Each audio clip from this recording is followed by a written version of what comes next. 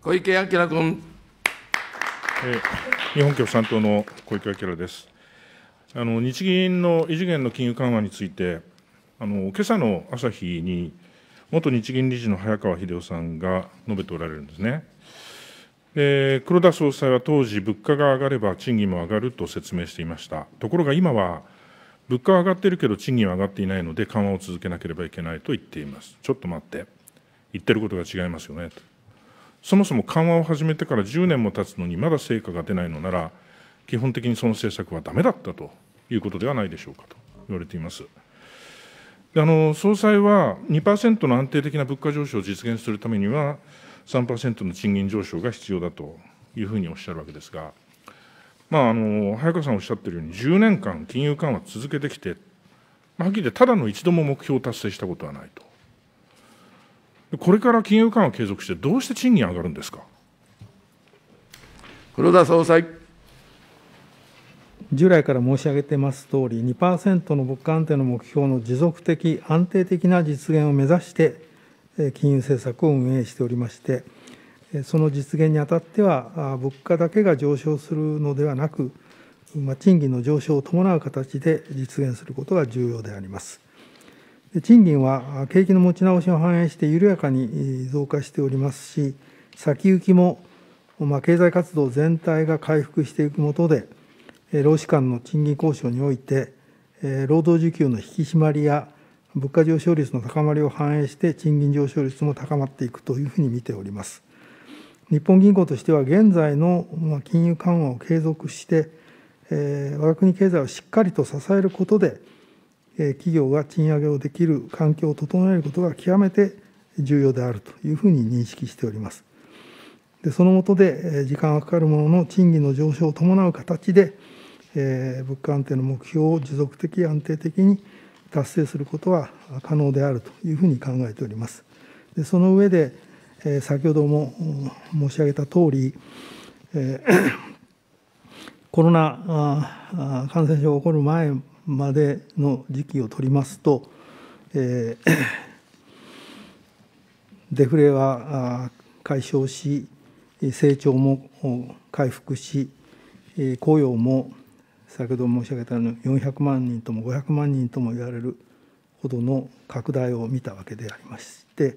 まあ、あの1%程度の実質経済成長も達成されたわけですが他方でこの500万人とも言われる労働力が、まあ、失業者から出てきたっていうよりもむしろ女性や高齢者の就業率が上がるって形で、まあ、いわば新たな労働供給として出てきたこともありまして、えー、労働市場が その、えー、欧米のようにタイトになって賃金が上がっていくっていうことになってなかったわけですが、えー、今や先ほど来申し上げているように女性の就業率は米国を上回っておりますし高齢者もいわば後期高齢者が増えてますのでこれ以上女性や高齢者の労働供給が大きく増加するっていう可能性は薄くなってます。でそうしたもとで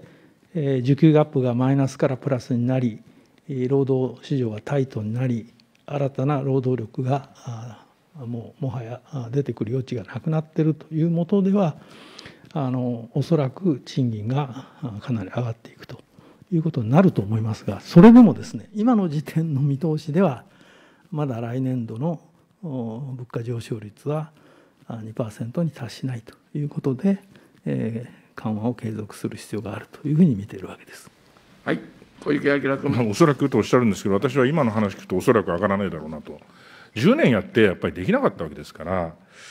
で必要なのはやっぱり本気で賃上げをやっていくことだというふうに思います。で異常円安をもたらした金融政策を正常化するためにも、やはり賃上げを行い、日本経済を立て直すということが鍵だというふうに思うんですね。そこでちょっとこの賃上げのことをちょっと今日は財務省に聞きたいんですけど、私どもあの具体策を提案しております。大企業の内部留保480兆円になった。で内部留保っていうのはこれ企業経営にとっては必要です。だからゼロにしろなんて私たちは思いません。しかし内部留保だけが巨額に積み上がっていくというのは、これは日本経済の歪みだと思うんですね。あの前回、西田議員が、消費税と法人税減税、所得税の最高税率引き下げが内部留保を増やして所得格差を拡大させた。まあ、私、西田さんとあの世界観全く違いますけど、このご意見は全くその通りだと思います。で、あの私たちは2012年以降、内部留保、アベノミクスで増えた分について、これはあの毎年2%課税をすると。で、5年間で、えー、合計 10%, 10の次元的課税を行う。そうすると毎年2兆円程度、総額で10兆円程度の税収できる。で、その際、課税対象額からは、賃上げ分は控除する。から国内設備投資。まあ、石炭火力とかはね、これは控除できませんが、まあ、そこは控除する。で、これによって大企業での賃上げとグリーン投資、これを加速する。で、10兆円程度のこの税収というのは、これは最低賃金を時給1500円にしようということで、中小企業支援に使う。で具体的にはやっぱり赤字企業も負担している社会保険料、これはあの賃上げに応じて軽減するのが一番効果的だと思ってるんですね。で、あの、こういう提案をしているわけです。で、これ、あの、私、本会議でも岸田首相に問うて、岸田さんは二重課税に当たるとの指摘があることから慎重な検討が必要だと答弁されたんですね。改めて大臣に聞きますが、二重課税の定義は何ですか？はい、住澤司令局長。お答え申し上げます。いわゆるこの二重課税という言葉につきまして、まあ、工学上確定した定義があるわけではございませんが、え一般には同一の課税対象に対して、同種の税が再度課税されることを意味する場合が多いものと承知をいたしております。はい、小池晃君。いや、だからその、財務省の定義はないんですね。財務省の定義はないんですね。じゃあ、な二重課税だっていうのは、どこからの指摘なんですか？はい、住澤司令局長。この法人の内部留保に関する議論に関しましては、関係している経済団体、その他の関係者から、この二重課税という指摘がなされているものと承知をいたしております。はい、小池晃君。だから法律上の定義があるわけじゃなくて、まあ、経団連とかが反対してるってことですよね。言ってしまえば。で、私ね、この二重課税って言うんだけど、例えばね、消費者から見れば所得税取られた上に、物を買うことに取られる消費税は、これは消費者から見ればこれ二重課税じゃないですか。ここはいかがなんですか？はい、住澤司令局長。えー、お答え申し上げます。えーまあ、所得税と、まあ、消費税の間の二重課税というご指摘かと思いますが、えー、先ほど申し上げましたように、いわゆる二重課税と言われる場合、まあ、同一の課税対象に対して、まあ、同種の税が、まあ、再度課されることを言う場合が多いものと承知をいたしております。こういった観点から所得税と消費税の関係について見てまいりますと、所得税の方につきましては、毎年毎年の所得を課税対象といたしまして、この所得の大きさに応じて負担を求めるという性格の税でございます。他方、ま、消費税は、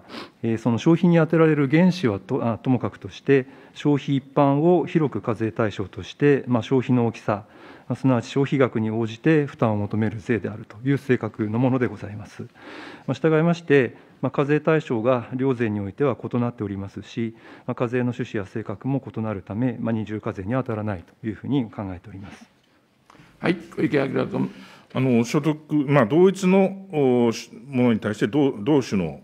課税をするのが二重課税であるというふうにおっしゃるわけですが、そのそういう論理でいくとですね、内部留保に課税するというのは、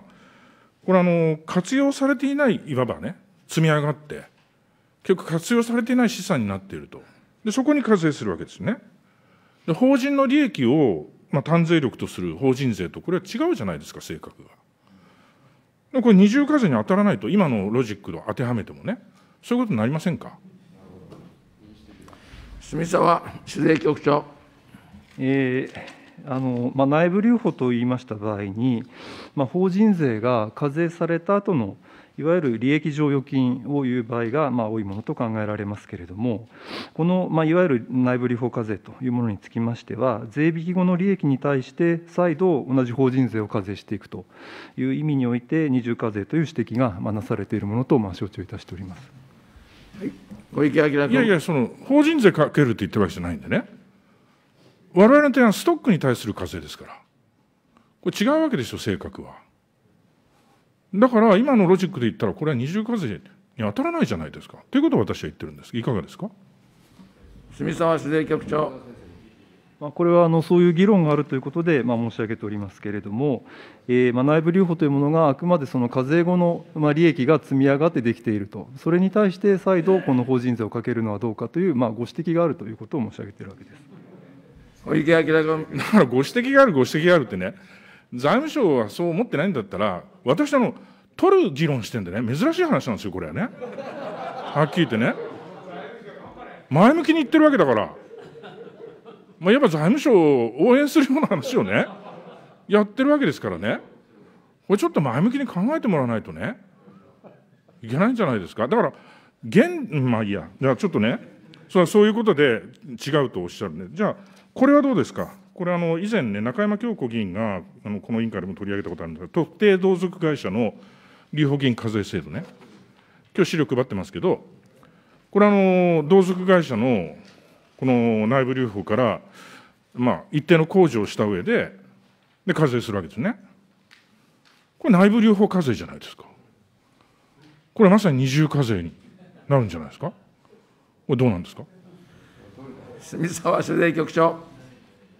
えこの特定同族会社の、まあ、留保金課税の、ま、趣旨でございますが、ま、確かにこの税引き後の利益に対して法人税の課税を再度行っているという点において、二重課税のようなものではないかということはご指摘のとおりでございますが、ただし、まあ、この特定同族会社の留保金課税制度の趣旨は、少数の株主が支配をしている同族会社におきましては、まあ、配当の時期ですとか、給与の支払いの時期など、さまざまなものを、まあ、自由にこの調整することが、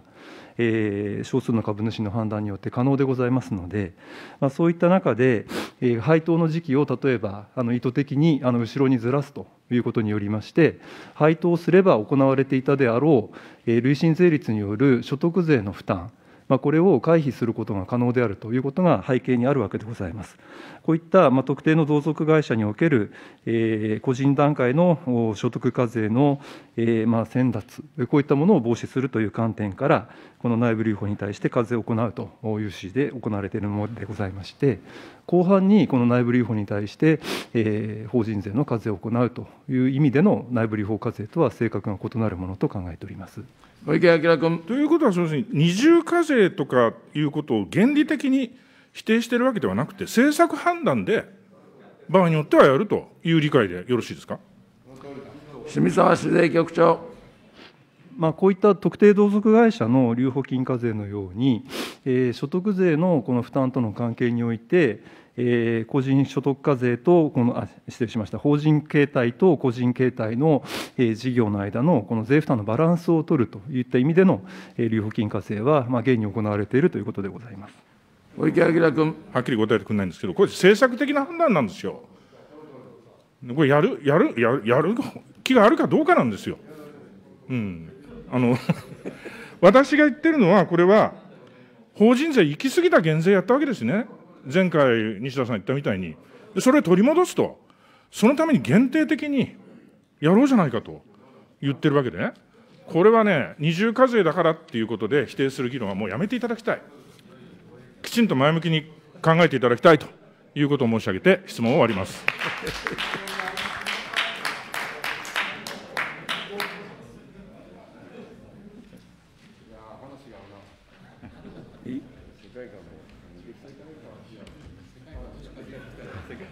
はい。